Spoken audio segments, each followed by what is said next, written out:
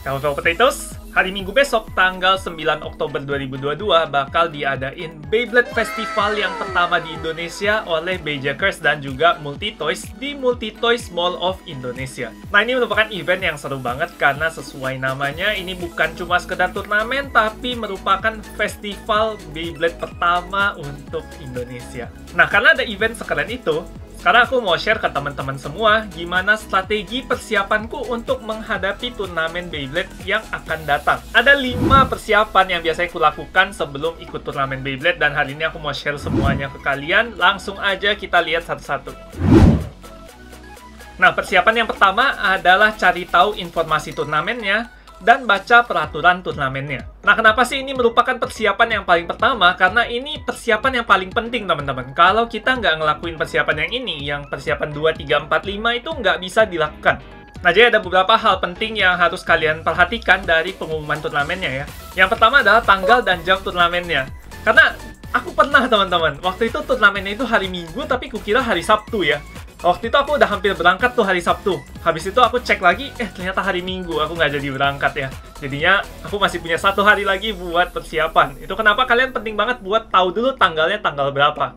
Nah, informasi turnamen yang berikutnya kalian cek adalah format turnamennya, apakah dia format 3G atau 5G. Kalau 3G itu kan kita pakai 3 Beyblade, kalau 5G itu kita pakai 5 Beyblade ya. Jadi pastinya strategi kita untuk ke depannya tuh beda gitu kalau turnamennya 3G atau 5G. Yang berikutnya masih dalam bagian peraturan turnamennya itu adalah stadium yang digunakan. Apakah pakai stadium standar, stadium dash, stadium DB, atau stadium big base stadium ya. Karena di tiap-tiap stadium ini Beyblade yang kita gunakan tuh beda-beda teman-teman. Kayak misalnya di standar stadium itu Beyblade tipe attack cukup diuntungkan karena pocketnya ada tiga, habis itu stadiumnya cukup kecil. Sedangkan kalau di Stadium DB, kita udah sering lihat kalau di stadium ini yang lebih diuntungkan itu adalah Beyblade tipe stamina ya. Nah, jadi tergantung turnamennya lagi pakai stadium apa, kalian bisa nyesuaiin Beyblade yang mau kalian pakai. Nah, berikutnya masih tentang info turnamen, yaitu daftar turnamennya, teman-teman.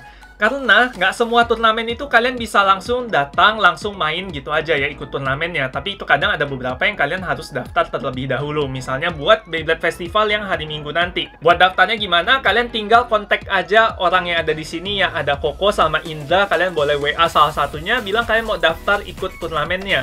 Karena sekarang slotnya udah lebih dari 90% teman-teman. Kalian nggak akan mau melewatkan kesempatan ini ya. Jadi langsung aja daftar sekarang juga Next adalah persiapan yang kedua. Ini juga persiapan yang nggak kalah penting sama persiapan pertama, tapi ini baru bisa dilakukan kalau kalian udah melakukan persiapan pertama yaitu cek info turnamen.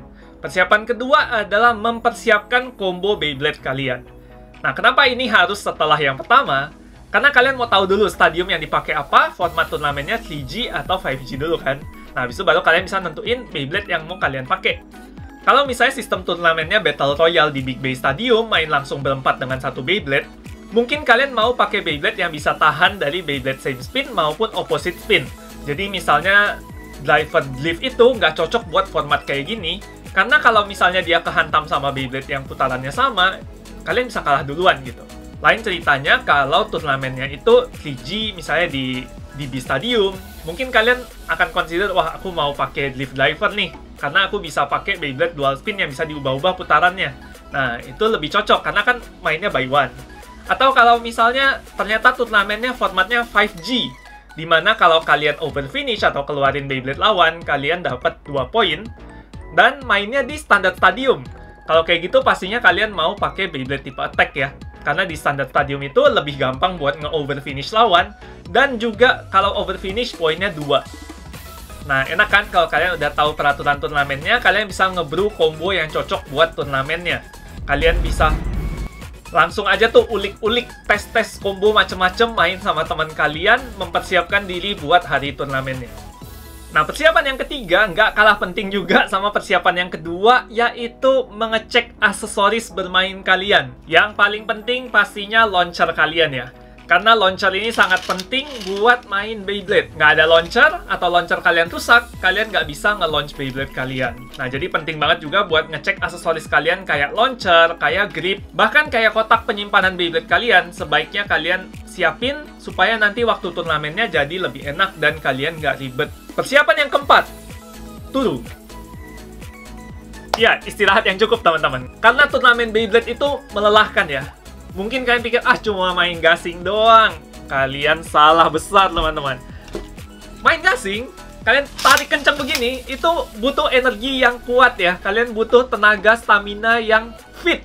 Kalau enggak, kalian bakal capek banget. Setelah turnamen banyak-banyak ronde gitu, kalian bakal capek banget. Jadi, kalian butuh stay fit, stay strong. Karena kalian nggak tahu nih, siapa tahu kalian main sampai final, dan kalian ketemu lawan yang badannya gede, keker gitu ya. Nah, kalian harus tetap kuat tuh, harus bisa nge-launch dengan tetap sekuat tenaga. Jadi, stamina sangat penting. Nah, sekarang kita akan masuk ke persiapan terakhir, yaitu persiapan kelima, di mana kita planning gimana kita pergi ke lokasi turnamennya. Kayak yang kita tahu ya, kalau di daerah Jakarta, biasanya itu ke mana-mana macet, teman-teman. Nah, kalian harus cek dulu lokasinya di mana, kalian planning tuh oh kalau dari rumahku ke tempat turnamennya aku butuh waktu 1 sampai satu setengah jam. Berarti aku harus berangkat awalan atau gimana? Kalian harus atur itu baik-baik teman-teman.